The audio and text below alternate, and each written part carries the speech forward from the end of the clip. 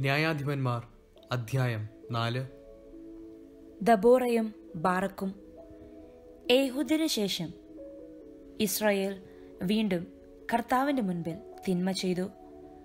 കർത്താവ് അവരെ ഹസൂർ ഭരിച്ചിരുന്ന ഖാനാൻ രാജാവായ യാബീന് വിട്ടുകൊടുത്തു. ഹറോഷത്ത് ഹഗോയിമിൽ വസിച്ചിരുന്ന സിസേറ ആയിരുന്നു അവന്റെ സേനാപതി. അവന് തൊള്ളായിരം ഇരുമ്പ് രഥങ്ങളുണ്ടായിരുന്നു. അവൻ ഇസ്രായേൽ ജനത്തെ ഇരുപത് വർഷം ക്രൂരമായി പീഡിപ്പിച്ചു. അപ്പോൾ അവർ കർത്താവിനോട് സഹായത്തിന് നിലവിളിച്ചു. അന്ന് ലപ്പിദൂത്തിന്റെ ഭാര്യയായ ദബോറ പ്രവാചികയാണ് ഇസ്രായേലിൽ ന്യായപാലനം നടത്തിയിരുന്നത്. അവൾ എഫ്രായിം മലനാട്ടിൽ റാമായ്ക്കും ബദലിനും ഇടയ്ക്കുള്ള ദബോറായുടെ ഈന്തപ്പനയുടെ കീഴിൽ ഇരിക്കുക പതിവായിരുന്നു. ഇസ്രായേൽ ജനം വിധിതീർപ്പിനു വേണ്ടി അവളെ സമീപിച്ചിരുന്നു. അവൾ അബിനോവാമിന്റെ മകനായ ബാറക്കിനെ നഫ്താലിയിലെ ഖേദഷിൽ നിന്ന് ആളയച്ചു വരുത്തി പറഞ്ഞു ഇസ്രായേലിന്റെ ദൈവമായ കർത്താവ് നിന്നോട് ആജ്ഞാപിക്കുന്നു.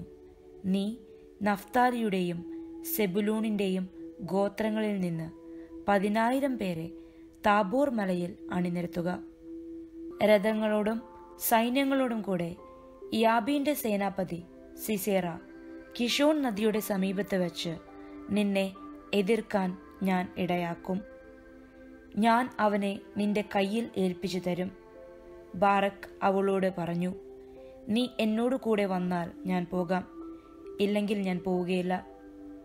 അപ്പോൾ അവൾ പറഞ്ഞു ഞാൻ തീർച്ചയായും നിന്നോട് കൂടെ പോരാം.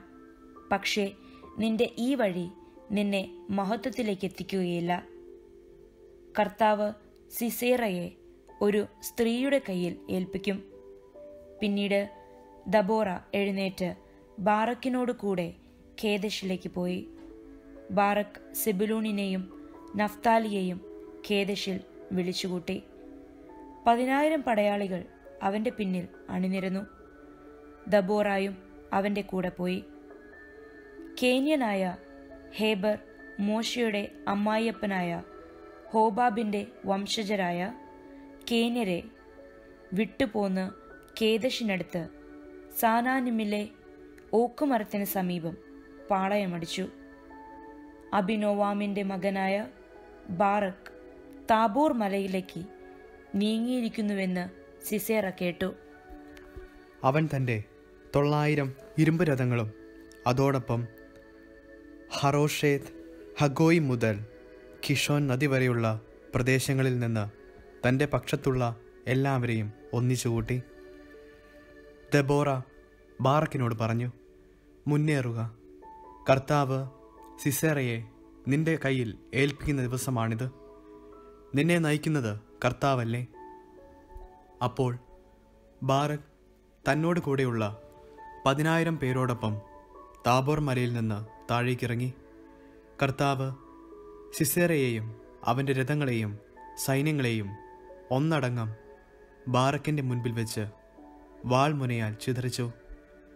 സിസേറ രഥത്തിൽ നിന്നിറങ്ങി പലായനം ചെയ്തു. ബാറക് രഥങ്ങളെയും സൈന്യങ്ങളെയും ഹറോഷത്ത് ഹഗോയിം വരെ അനുധാവനം ചെയ്തു.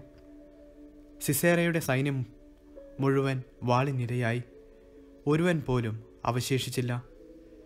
സിസേറ കേന്യനായ ഹേബറിന്റെ ഭാര്യ ജായലിന്റെ കൂടാരത്തിൽ അഭയം പ്രാപിച്ചു. കാരണം അക്കാലത്ത് ഹസോർ രാജാവായ യാബിൻ കേന്യനായ ഹേബറിന്റെ കുടുംബവുമായി സൗഹൃദത്തിലായിരുന്നു. ജായേൽ സിസേറയെ സ്വീകരിക്കാൻ വന്നു. അവൾ പറഞ്ഞു ഉള്ളിലേക്ക് വരൂ. പ്രഭോ എന്നോടുകൂടെ അകത്തേക്ക് വരൂ. ഭയപ്പെടേണ്ട. അവൻ അവളുടെ കൂടാരത്തിൽ പ്രവേശിച്ചു. അവൾ അവനെ ഒരു കരിമ്പടം കൊണ്ട് മൂടി. അവൻ അവളോട് പറഞ്ഞു എനിക്ക് ദാഹിക്കുന്നു. അല്പം വെള്ളം തരിക. അവൾ തോൽക്കുടം തുറന്ന് അവന് കുടിക്കാൻ പാൽ കൊടുത്തു. വീണ്ടും അവനെ പുതപ്പിച്ചു. അവൻ അവളോട് പറഞ്ഞു കൂടാരത്തിന്റെ വാതിൽക്കൽ നിൽക്കുക. ആരെങ്കിലും വന്ന് അന്വേഷിച്ചാൽ ഇവിടെ ആരുമില്ലെന്ന് പറയണം. എന്നാൽ ഹേബറിന്റെ ഭാര്യ ജായൽ കൂടാരത്തിന്റെ ഒരു മരയാണിയും ചുറ്റികയും എടുത്ത് സാവധാനം അവന്റെ അടുത്ത് ചെന്നു. അവൻ ക്ഷീണിച്ച് ഉറങ്ങിക്കിടക്കവേ ആണി അവന്റെ ചെന്നിയിൽ തറച്ചു. അത് നിലത്തിറങ്ങുവോളം അടിച്ചു കയറ്റി. അങ്ങനെ അവൻ മരിച്ചു.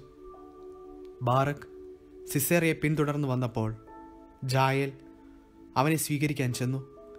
അവൾ അവനോട് പറഞ്ഞു വരിക നീ അന്വേഷിക്കുന്ന മനുഷ്യനെ ഞാൻ കാണിച്ചു തരാം. അവൻ അവളുടെ കൂടാരത്തിൽ പ്രവേശിച്ചു. സിസേറ ചെന്നിയിൽ മരയാണി തറച്ച് മരിച്ചു കിടക്കുന്നത് കണ്ടു.